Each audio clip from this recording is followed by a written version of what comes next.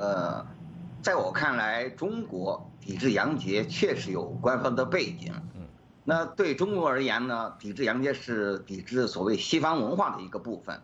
啊，当然这里这个说起来，中共和西方文化对西方文化的态度是充满矛盾。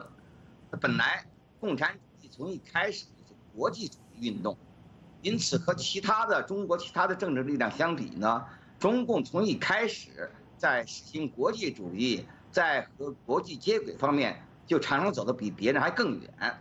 你就拿这个纪元来说，你看，直到今天，啊，台湾当主要是国民党了，还在采用，还在保留了这个民国的纪年，而中共呢，从一开始就是采用的公元纪元，嗯。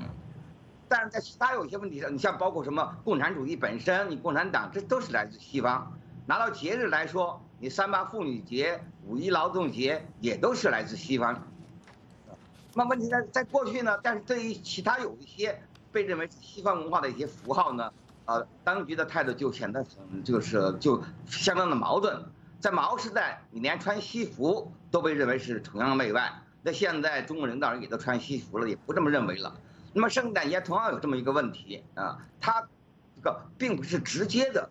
和共产党的这套意识形态有什么直接的矛盾啊？但是呢，他毕竟还是把它那么当成是西方文化的一个符号，所以他还是采取一种这个基本上采取这么这么种拒绝态度。可是呢，这个又和现在你中国的对外开放啊，和国际各各交流啊，以及和中中国在对待其他国家文化的一些基本的态度，这个态度基本立场上呢，又充满了矛盾。我觉得实际上是问题是在这儿，当然大家都一般会倾向于认为过不过什么节，这是老百姓自己的事。嗯，官方呢应该在这个问题上采取一个更中立的态度。那么，所以我也认为中国目中国政府目前所采取的这种态度呢，恐怕也是很难持续的。嗯。